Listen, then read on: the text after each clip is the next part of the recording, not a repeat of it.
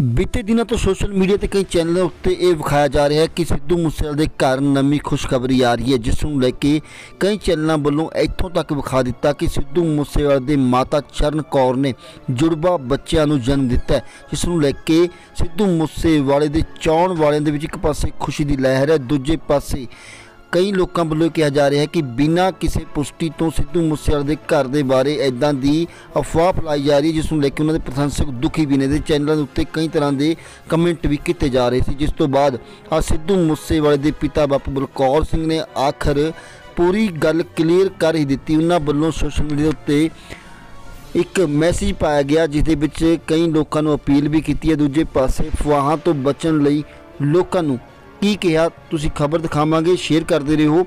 ਸਿੱਧੂ ਮੂਸੇਵਾਲੇ ਦੇ ਪਿਤਾ ਨੇ ਕਿਹਾ ਕਿ ਸਿੱਧੂ ਨੂੰ ਚਾਹਣ ਵਾਲਿਆਂ ਦੇ ਅਸੀਂ ਧੰਨਵਾਦੀ ਹਾਂ ਜੋ ਸਾਡੇ ਪਰਿਵਾਰ ਪ੍ਰਤੀ ਫਿਕਰਮੰਦ ਹਨ। ਪਰ ਅਸੀਂ ਬੇਨਤੀ ਕਰਦੇ ਹਾਂ, ਬਹੁਤ ਸਾਰੀਆਂ ਅਫਵਾਹਾਂ ਪਰਿਵਾਰ ਬਾਰੇ ਚਲਾਈਆਂ ਜਾ ਰਹੀਆਂ ਨੇ, ਉਹਨਾਂ ਤੇ ਯਕੀਨ ਨਾ ਕੀਤਾ ਜਾਵੇ। ਜੋ ਵੀ ਖਬਰ ਹੋਵੇਗੀ, ਪਰਿਵਾਰ ਵੱਲੋਂ ਤੁਹਾਡੇ ਸਭ ਨਾਲ ਸਾਂਝੀ ਕਰ ਦਿੱਤੀ ਜਾਵੇਗੀ। ਇਹ ਗੱਲ ਤਾਂ ਕਲੀਅਰ ਹੋ ਗਈ ਕਿ ਕਿਤੇ ਨਾ ਕਿਤੇ ਖੁਸ਼ਖਬਰੀ ਤਾਂ ਆਵੇਗੀ, ਪਰ ਅਜੇ ਤੱਕ ਜੋ ਕਈ ਚੈਨਲ ਤੇ ਪੇਜ YouTube ਤੇ ਜਾਂ ਫਿਰ ਫੇਸਬੁੱਕਾਂ ਤੇ ਇਹ ਪਾ ਕੇ ਵਾਇਰਲ ਕਰ ਰਹੇ ਨੇ ਕਿ ਸਿੱਧੂ ਮੂਸੇਵਾਲੇ ਦੇ ਘਰ ਦੋ ਬੱਚੇ ਨੇ ਜਨਮ ਲਿਆ, ਮਾਤਾ ਚਰਨ ਕੌਰ ਨੇ ਜੁੜਵਾ ਬੱਚੇ ਨੂੰ ਜਨਮ ਦਿੱਤਾ, ਜਾਂ ਫਿਰ ਇੱਕ ਬੱਚੇ ਨੇ ਜਨਮ ਲਿਆ। ਤਾਂ ਇਹ ਗੱਲ ਅਫਵਾਹ ਨੇ ਜਿਸ ਨੂੰ ਲੈ ਕੇ ਅੱਜ ਸਿੱਧੂ ਮੂਸੇਵਾਲੇ ਦੇ ਪਿਤਾ ਨੇ ਇਹ ਗੱਲ ਤਾਂ ਕਲੀਅਰ ਕਰਤੀ।